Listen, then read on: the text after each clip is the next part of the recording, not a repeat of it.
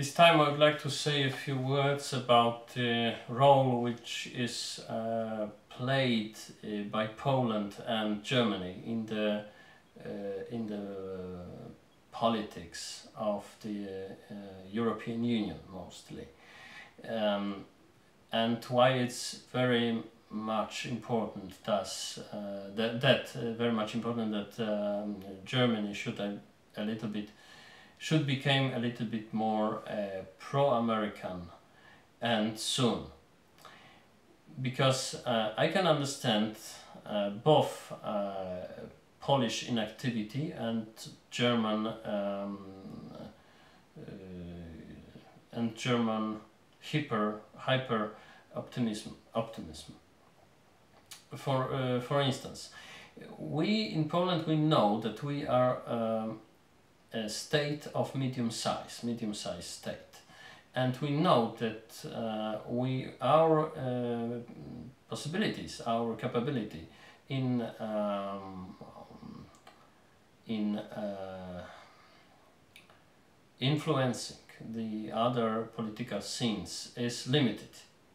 So we try very rarely to do so. But we, we did it once with the um, with the election of Ursula von der Leyen uh, to the head of the European Commission instead of Mr. Uh, Timmermans, who was very critical of uh, Polish uh, judiciary system, and not only that, mostly without any reasons.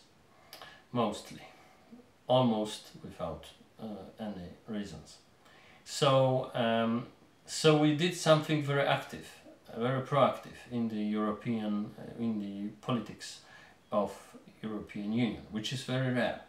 Usually the Polish European class uh, is very much, uh, it's over prudent when it comes to actions like that.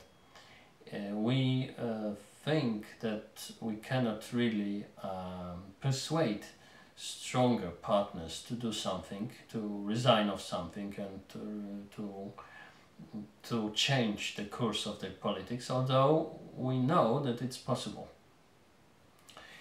So our political elites are usually uh, in Poland, as usually are concentrated on the uh, defending Polish national interests in Brussels, also from Germany, but um, and the polit political elite in Poland is very, um, how to say, very Mazovian, very Warsaw-like. The the elites, the the the people of influence and uh, and politicians in Poland are usually very Warsaw-like. That that like the people in the region of Warsaw, the Mazovian people, are usually uh, usually very rarely can uh, speak any German uh, sentences. They cannot speak really German. And they, they don't, they try to speak German, they, they don't learn German. Or it's very rare. In my part of Poland, in, in west, in western part of, of, of Poland, it's more common.